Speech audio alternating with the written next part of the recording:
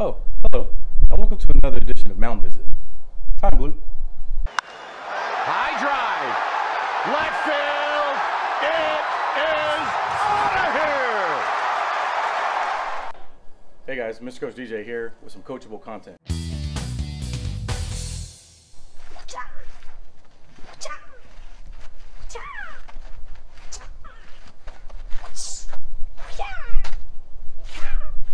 Okay, stop.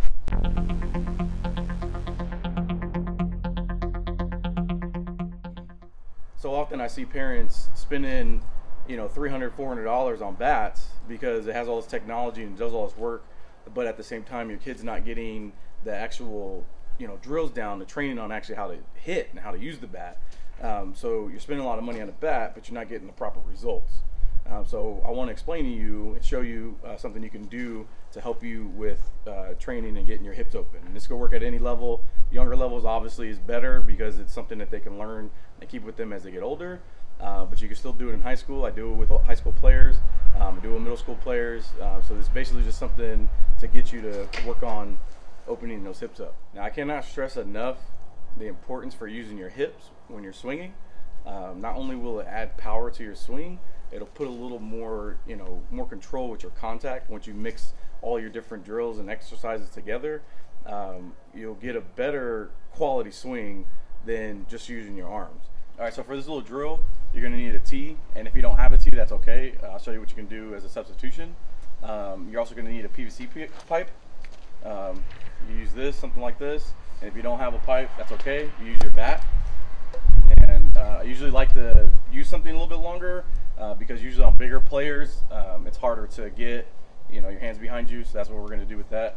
Um, but if that's all you have your bat, that's fine. And then you're going to need some tennis balls.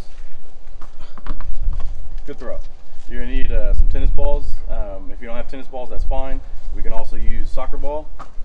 Um, so anything like similar, like soccer ball, volleyball, um, something similar, uh, as long as it's not too hard because you're going to be uh, slapping with your bare hand.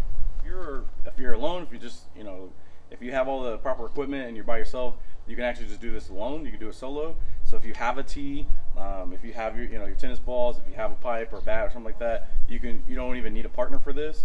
Um, but if you know if you don't have the tee, then you will need a partner. You know it could be anybody. They're basically just going to do uh, soft toss to you. Uh, you'll do the same thing.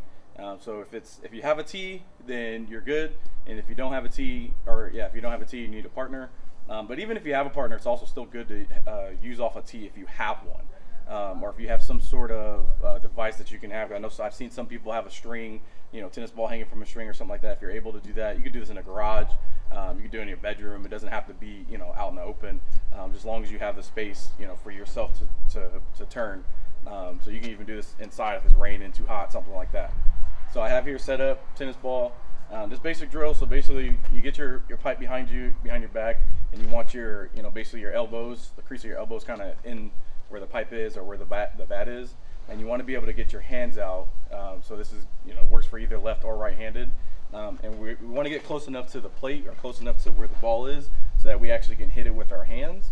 Um, the, the purpose of this is you, I want you taking steps, and you're, you're, you want to open up your body to use those hips use those hips, open your body up, get your you know your chest exposed, get your chest flat, so you get that full extension, you know, so get a little power behind your swing.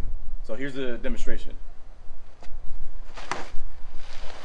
So just like that. So like I said, if you have a partner, partner could just set you back up, put another ball in there. Uh, if not, of course, you got to do it yourself. Um, no big deal. But take a few reps at those and make sure you get that full extension out um, and just keep working at it.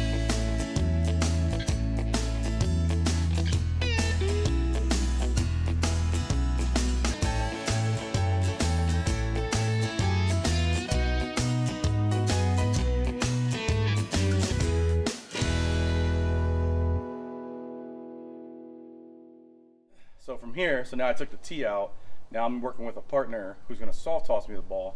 And they, you want to get them to kind of toss you the ball in that same spot right there. And if you don't hit it, it's fine. It's still, you still want to get this motion. It's the ball's there to give you something to actually kind of aim for and have some, uh, a, a, a response, immediate response, immediate feedback from when you're actually hitting.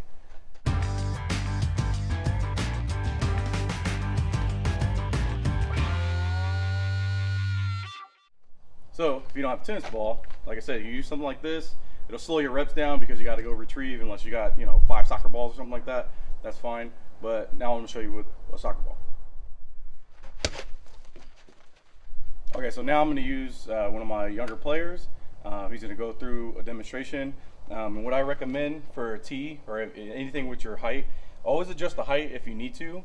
Um, you don't want players going too low, trying to you know basically uppercut. Uh, that's a bad swing, and you don't want to go too high where they're adjusting their natural kind of uh, twist of their torso.